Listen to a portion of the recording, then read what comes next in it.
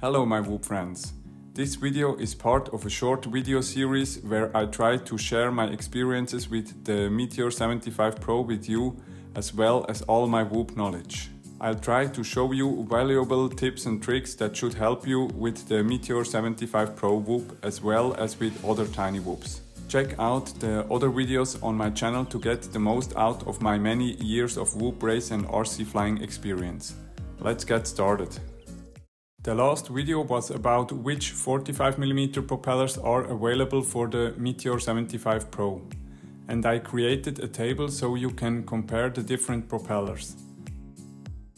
In this video I'll show you now how to remove a propeller from your tiny Whoop motor. For example on your Beta FPV Meteor 75 Pro or on any other tiny Whoop. I will now hand over to my AI friend who will speak for me for the rest of the video. If you're lucky and your propeller isn't stuck, you can remove it with your fingers. To do this, hold the motor bell firmly from underneath with three fingers. And with your other hand, grasp the propeller with three fingers too. Then pull and turn the propeller while simultaneously pressing the motor housing firmly with your other hand so that it can't turn. With right-handed propellers, this works relatively well with your right hand on the propeller. With left-handed propellers, you should theoretically use your left hand on the propeller for the best grip. But this is a bit unusual for right-handed people. That's why I usually try to do it with my right hand on the propeller. Sometimes the propeller is so tightly attached to the motor shaft that you can't remove it by hand.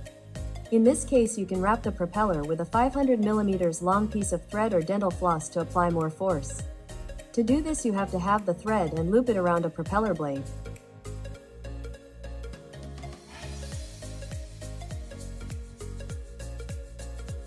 Then you move on to the next propeller blade until you have wrapped all the propeller blades once.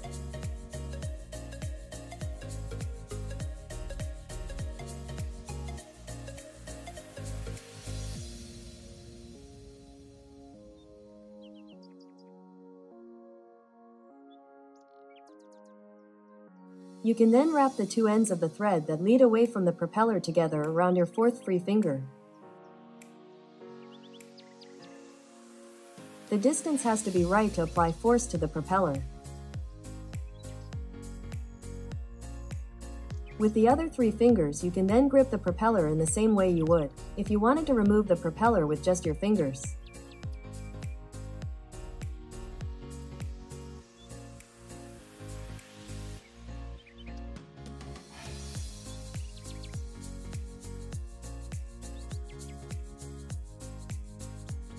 There is another simple method.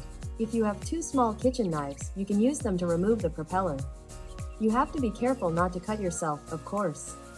You can also sand down the lower part of the knife with a Dremel grinder so that it is no longer sharp. And round off the tip of the knife. Then it would be a nice and safe prop remover tool. With the kitchen knife method, you can also remove very stuck propellers. Even propellers that are pressed right down onto the motor bell. Personally, I always press the propellers right down onto the motor bell. This creates less vibration from the propeller and also reduces the chance of a motor shaft bending in a crash. With the kitchen knives, you can easily reach the small gap between the propeller hub and the motor bell. It's important that you get into this gap so that the knives can push the propeller hub upward by twisting both knives outwards. There are also prop removal tools from various manufacturers and now even on AliExpress. Like the one shown in the video here, but many have design flaws and only work to a limited extent. Like the one in the video here. Personally, I won't be ordering another one at the moment. Most of these prop poppers aren't designed to remove propellers that have been pushed all the way down onto the motor bell. If any of you have one of these prop poppers, I'd appreciate your feedback on how well it works and whether you're satisfied with it. I'd most likely buy the Prop Popper V2 by inventor Winson FPV, which is available at tinywhoop.com. I made a post in my YouTube community with links to prop poppers.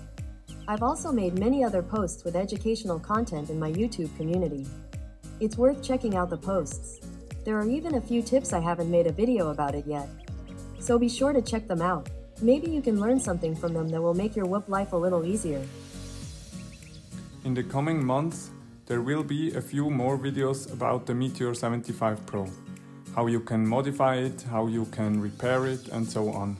Stay tuned my friends and subscribe to the channel and set the notifications to on so you don't miss a single video.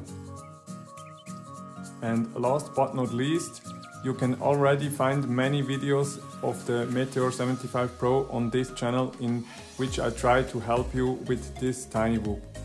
Lots of tutorials, tuning tips, flight tips and repair videos. And there will be even more in the future if I am motivated enough by you my friends. Stay tuned. Subscribe to this channel and activate the notification if you want to know when I publish a new video.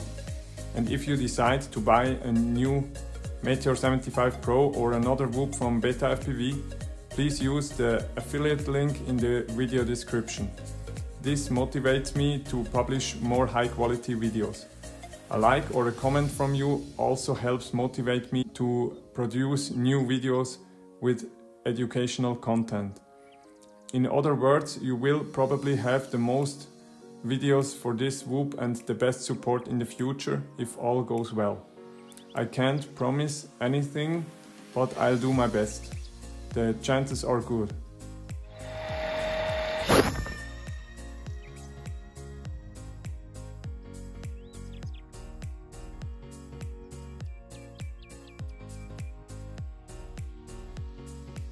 Happy flying, my Whoop friends!